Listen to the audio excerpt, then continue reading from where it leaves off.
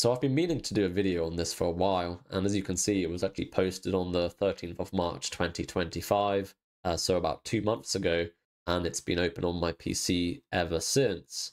Uh, so this is something that really resonates with me, and it's the title is this. So as an engineer, although that part's irrelevant, I'd rather be called stupid than stay silent. This isn't about being stupid, right? This is about being worried about being perceived to be stupid. Uh, have you ever been in a meeting uh, where you feel as though you should know something, but you don't? Uh, so you just sit there silently pretending to know what's going on, but actually you have no clue. That's what this is about. I've done it. You've possibly done it at some point in your career. I've grown out of it now. You know, now if I have a question, I ask it. I don't care. I know exactly what it is that I need to know and what I don't know, and then I ask the question or I find a way of finding it out. Perhaps it's in the documentation somewhere and I go search that out. The point being is, I don't let that gap stay empty.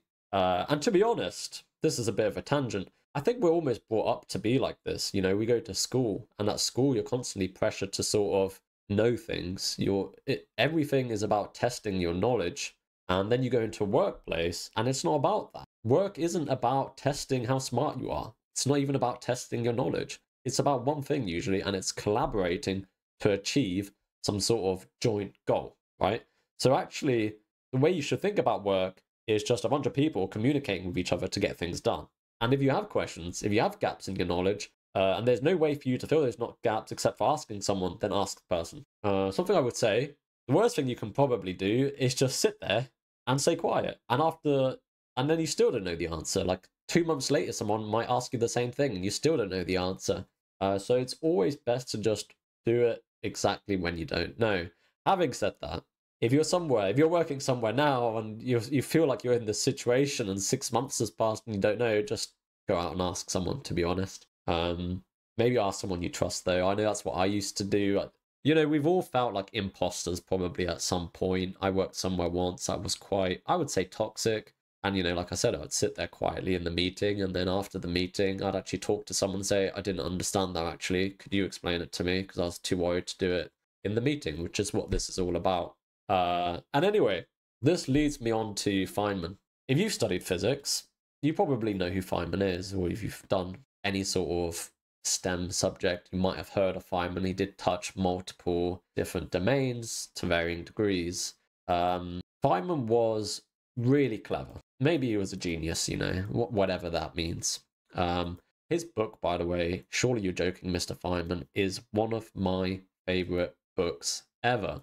And not because it's some like masterpiece, it's just like a really feel good book that I probably read at the right time in my life. I think I was about 15, 16, and it just changed the way I thought. Uh, it really did change my brain. I felt like I felt like I saw things in a different way. So it's a really great book. And anyway, Feynman was quite unorthodox and quite famous, you know, for asking stupid questions. Obviously, it was different because it was just sort of, he didn't remember certain things. He was still he had great knowledge. Anyway, here's a quote. So some people think that in the beginning I'm kind of slow and I don't understand the problem because I ask a lot of these dumb, uh, in quotation marks, questions. Is a cathode a plus or a minus? It's a minus, by the way, if you're wondering. Is an ion this way or that way? Um, and that's Richard Feynman, a quote from Richard Feynman. Uh, my favorite aspect of this quote is Feynman's willingness to look dumb, and that leads back to this article. And by the way, these articles weren't connected. I just read this title, and it instantly made me think of Feynman. So then I go find, I just looked for a quote from Feynman, and we, you know, we end up in a place where it's like Feynman's willingness to look dumb. Uh, and he was willing to look dumb. Now, he was really clever, of course, but so he's probing for some seemingly obvious facts. And if you're a developer, by the way, you've probably done this yourself. I know personally, I've never been that good at remembering specific details. Like, if you're not using something every day, your brain loses it, right? So this is like the whole um like use it or lose it. For example, a good like a specific technical example, if you're a Python developer, or there's this is Python dependent, Python specific, but like you might forget the implementation of a decorator or the yield keyword. You have to go look it up. You can't remember it. Uh, but that's okay. You don't have to pretend that you remember how it works. You just ask someone or just look it up. Um, yeah, anyway, so and if this was your first encounter with him, you might start to think this Mr. Feynman wasn't all he's cracked up to be. And by the way, I've got to go off on another tangent because I've got to say this. The key thing with asking questions is it's really understanding what it is you don't understand. Now, I have to admit, I'm not a big fan of the people who just like, oh, I don't get any of it. That sometimes to me signifies you're not really even trying, you're not trying to work things out. The way you really should do it is like, okay, I understand this bit, but I'm really not understanding this part here um, that's the way you should do it. And if you don't understand something, look, it is what it is, right? If you don't understand the whole thing, it is what it is. But at least try to understand, I would say, and then try and recognize which parts you don't understand or which what information you're missing to help you get to a point where you understand. I guess that's a skill in itself, but uh, yeah. So, and then Feynman goes on to say, you know, and later when the guy's in the middle of a bunch of equations, he'll say something and I'll say, wait a minute, there's an error, that can't be right. The guy looks at his equations, and sure enough, after a while, he finds a mistake and wonders how the hell did this guy, who hardly understood the beginning, find a mistake in this mess of these equations. And the reality is, there's two things. Obviously, Feynman wasn't stupid, he was clever, but he knew what he didn't know. And that's what this comes down to. And yeah, I actually also want to say there's like another side to this, going back to, you know, the work environment and realizing that you're all there to just collaborate and build something that works, right? That's your goal. Uh, I think it's also your sort of responsibility to maybe a lesser degree if you're a senior to recognize when other people are doing this. I've definitely done this. I have worked with juniors and I've been like, I know for a fact that he's been assigned a ticket, but I know he doesn't know what he needs to do, but I also know he's too scared to basically ask the question in front of everyone. Uh, and at that point, you know, go I would go and send them a message saying, Do you need any help? I'm happy to explain that ticket to you. Um, now, obviously, it would be better if they just got over the hump and said, I don't exactly understand. Uh, but, you know, if you have the ability to spot it, then definitely use that skill as well. Um, I guess that's the other side of the coin.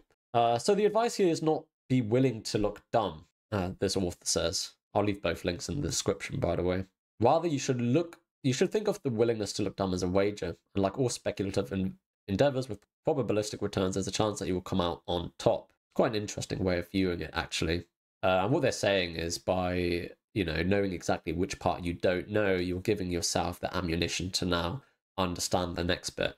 And by the way, that's why I, I quite like talking out loud, especially like through problems or writing them down, because quite often when you write something down or you speak about it and try to articulate it, it's much more simple to actually recognize which where your gaps in your knowledge actually are. And von Neumann did this a lot. And I, I love von Neumann. I think von Neumann, John von Neumann, that is, or Janos, I think he's often called, uh, Janos. Uh, I'm pretty sure he's like the smartest person that's ever lived. But obviously, that's a bit of a, can't really back that up. Uh, it's amazing how far we've gone from just reading the title. It goes to show. Um, uh, I like to ramble. so if you like listening to me ramble, leave a like and subscribe. And, you know, please give me the benefit of the doubt because, you know, I'm just doing this all in a single take. So if I say something stupid, apologies. Uh, so this he then goes on to say, and I'm, we're not going to read the whole article. I might just suddenly abruptly end it. Uh, but he goes on to say, letting myself be vulnerable and ask stupid question, questions actually helped me grow in my engineering career. I think this is inevitable. This is like you're just filling in your gaps faster and then you're becoming more confident to communicate with people. And then people when you ask the question you're more engaged. And i just can't think of any real negatives unless you're really unless you're literally asking a question. And i'm sat there as another developer thinking how on earth have you worked here for six months without knowing that? If you don't know that that means you've not you don't understand even what your job has been the last six months. Maybe then you should be worried. But generally speaking asking questions is a good thing. Uh, feel like I went on a tangent there, but we're going to move on. I'm not always going to address every point, you know. A lot of this is just sort of uh, extreme examples, like for fun.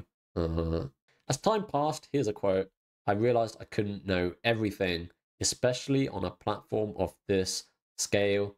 This is another thing which is probably inevitable if you're on a big platform, but this is where you almost have to make like use of how your brain actually works. Firstly, write documentation you might not be able to remember everything, but your brain is actually pretty good at remembering where you read the information, where you got the information from. So write documentation. uh, and you might not remember like the specific implementation or something, but you might remember exactly where you can get that piece of information. So always write docs if you think that you you're likely to forget something.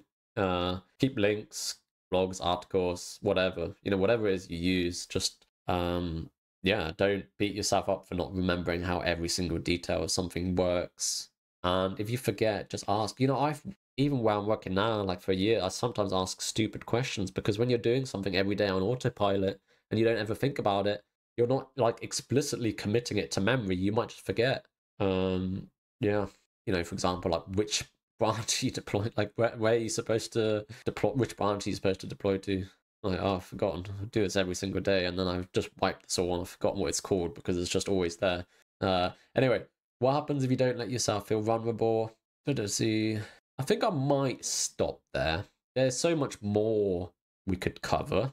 Of course, there always is. There's many tangents we could go off of.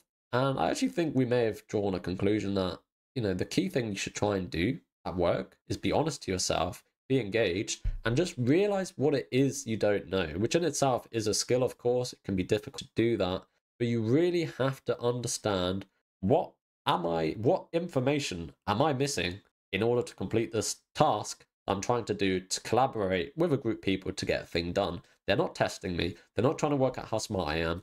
They just want me to do this thing as quickly as possible, preferably, you know, however many points on the ticket, get the ticket done in that amount of time. That's what they care about. They don't care how smart you are. Um, anyway, I will stop there. Hopefully, I wasn't too incoherent. Hopefully, that made sense. Um, leave a like, subscribe, and thank you for watching.